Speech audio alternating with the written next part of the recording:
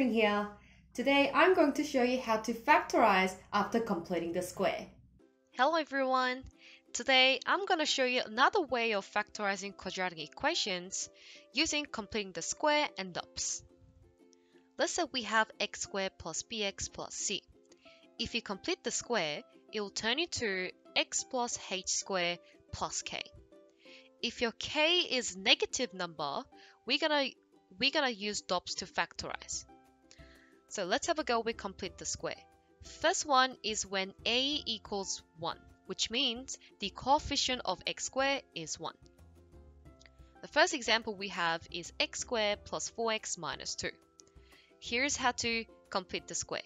You keep the first two terms, which is which is x squared plus 4x. Then look at the number next to x. We got number 4. So we're gonna halve it and then square it.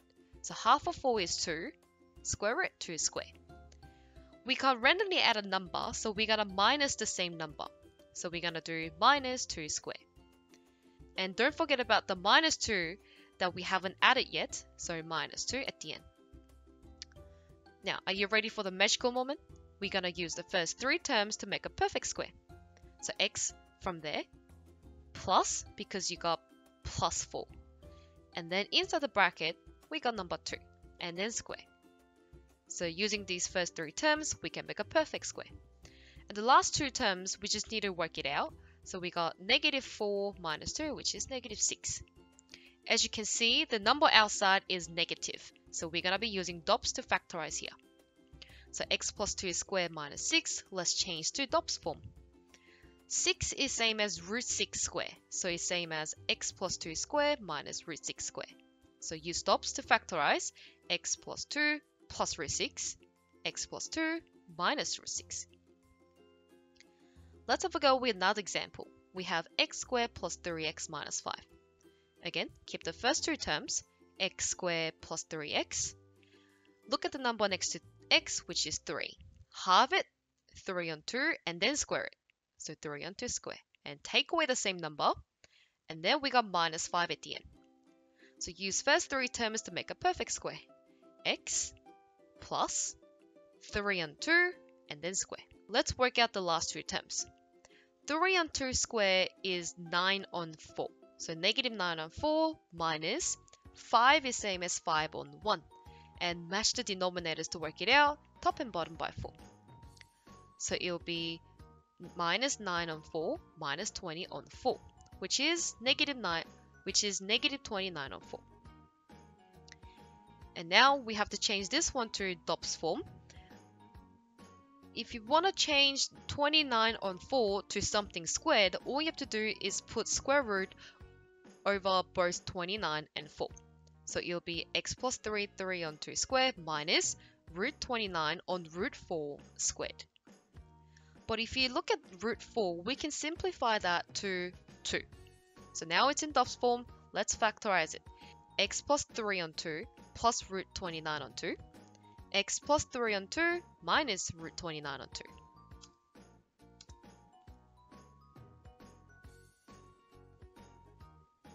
Next one is when a is not equal to 1. So this case, you must take a out as a common factor before completing the square. Even though a is not a common factor, you must take it out. So let's have a go with example 1 we have 2x squared minus 6x minus 12.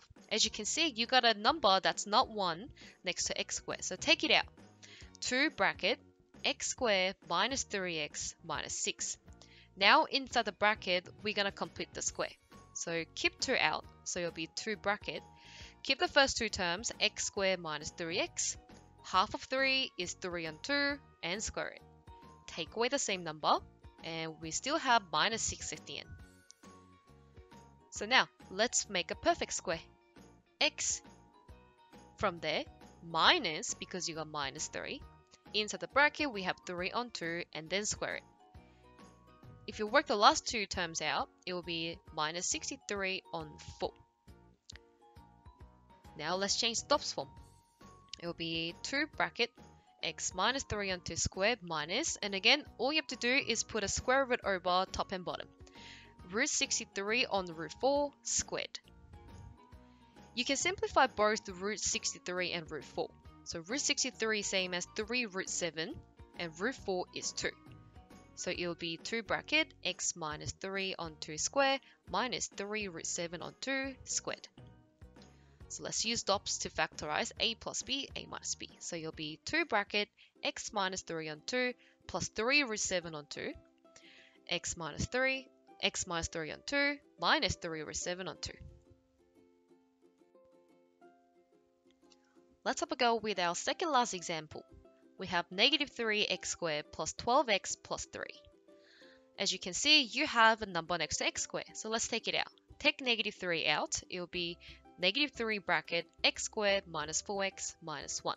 And again, within the bracket, I'm going to complete the square. Keep the first two terms, x squared minus 4x. Half of 4 is 2, and then square it. Take away the same number, and we still have minus 1 at the end. Still keeping negative 3 outside, let's make a perfect square using the first three terms. x from there, minus, and then 2 from the inside the bracket, and then square it. And if you figure out the last two terms, that's negative 4 minus 1, which is negative 5. So let's change the DOPS form. Negative 3 bracket, x minus 2 square minus root 5 square. So use DOPS to factorize. We have negative 3, x minus 2 plus root 5 x minus 2 minus root 5. Let's move on to our last example today. We have 2x squared plus 5x minus 4. As you can see here, 2 is not the common factor, but we still have to take it out. Take 2 out, it will be x squared plus 5 on 2x minus 2. Now complete the square within the bracket. x squared plus 5 on 2 is x. Half of 5 on 2 is 5 on 4. Then square it take away the same number, and we still have minus 2 at the end. So we're still keeping 2 outside. Then let's make a perfect square. x from there plus, and inside the bracket we got 5 on 4 squared. And if you work those two terms out, you'll have negative 57 over 4. Change to DOPS form, it will be 2 bracket x plus 5 on 4 squared minus root 57 on root 4 squared. But as we did before, root 4 is same as 2. So simplify it. So it'll be 2 bracket x plus 4, x plus 5 on 4 squared minus root 57 on 2 squared. So if you use DOPS to factorize, you have 2 bracket x plus 5 on 4 plus root 57 on 2 bracket x plus 5 on 4 minus root 57 on 2. So I'll give you two questions to try yourselves 1. Factorize x squared plus 6x minus 2. 2. Factorize 2x squared minus 8x minus 3. This is the end of our today's lesson. Thank you so much for sharing your time and studying with me, and I'll see you guys with next video. Bye everyone! Thank you so much for watching our quadratic videos today. Make sure you like and subscribe our channel for more math tips and materials. Study smarter, not harder with SAC.